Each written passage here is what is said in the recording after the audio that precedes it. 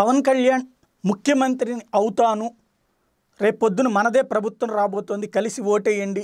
గాజువాక నుంచి ఉత్తరాంధ్ర నుంచి తొలి ముఖ్యమంత్రిని అవుతానన్నటువంటిది ఆయన చేసినటువంటి ప్రకటన. ఆయన ముఖ్యమంత్రి కావాలంటే ఏం జరగాలి? ఒకటి జనసేన మొత్తం ఒక తొంభై వరకు సీట్లు సాధించగలగాలి. తొంభై వరకు సీట్లు సాధించాలంటే శ్రీకాకుళంలో సగం విజయనగరంలో సగం విశాఖపట్నంలో సెవెంటీ ఫైవ్ పర్సెంట్ తూర్పు పశ్చిమ గోదావరి జిల్లాల్లో సగం సగం. అట్లాగే కృష్ణా గుంటూరు జిల్లాల్లో సగం సగం. ప్రకాశం పశ్చిమ ఈ దాదాపుగా ఈ నెల్లూరు నుండి శ్రీకాకుళం వరకు దగ్గర దగ్గరగా సగం సీట్లన్నా గెలవగలగాలి.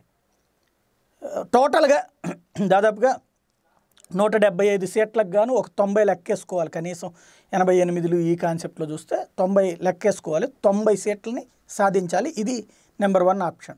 Number two option ఏంటంటే నలభై సీట్లని సాధించాలి. నలభై సీట్లని కనీసం సాధిస్తే ఏది ఇప్పుడు బాగా బలంగా ఉన్నటువంటి తూర్పు పశ్చిమ గోదావరి విశాఖపట్నం కొంత శ్రీకాకుళం మీద కూడా ఎక్స్పెక్టేషన్స్ పెట్టుకున్నారు కాబట్టి ఈ నాలుగు జిల్లాలకు సంబంధించినటువంటి చోట్ల నలభై సీట్లని సాధించగలిగితే ఈ నలభై సీట్లకి అటు తెలుగుదేశం పార్టీ మద్దతు తీసుకోవాల్సి ఉంటుంది. ఎందుకంటే ఇటు వైఎస్ఆర్ కాంగ్రెస్ పార్టీ మద్దతు అయినా తీసుకోవాలి లేదా తెలుగుదేశం మద్దతు అయినా తీసుకోవాలి.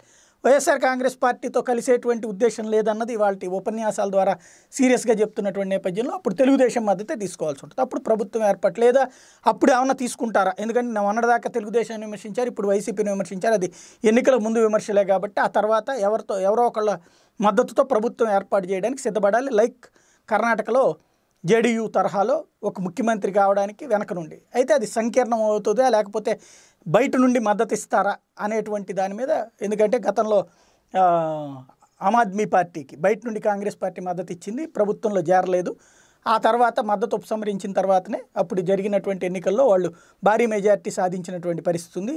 అరవై ఏడు స్థానాలు సాధించినటువంటి పరిస్థితి ఉంది కాబట్టి ఆ తరహా రాజకీయం అంటే కేజ్రీవాల్ తన క్రేజ్ని పెంచుకుంటూ నిర్ణయాలు తీసుకున్నారు కాబట్టి అక్కడ విజయం సాధించినటువంటి పరిస్థితి ఉంది. అదే సందర్భంలో కర్ణాటకలో మాత్రం రోజు కంటతడి పెట్టుకుంటున్నటువంటి పరిస్థితి ఉంది. కాబట్టి ఇక్కడ పరిస్థితి వస్తుందా?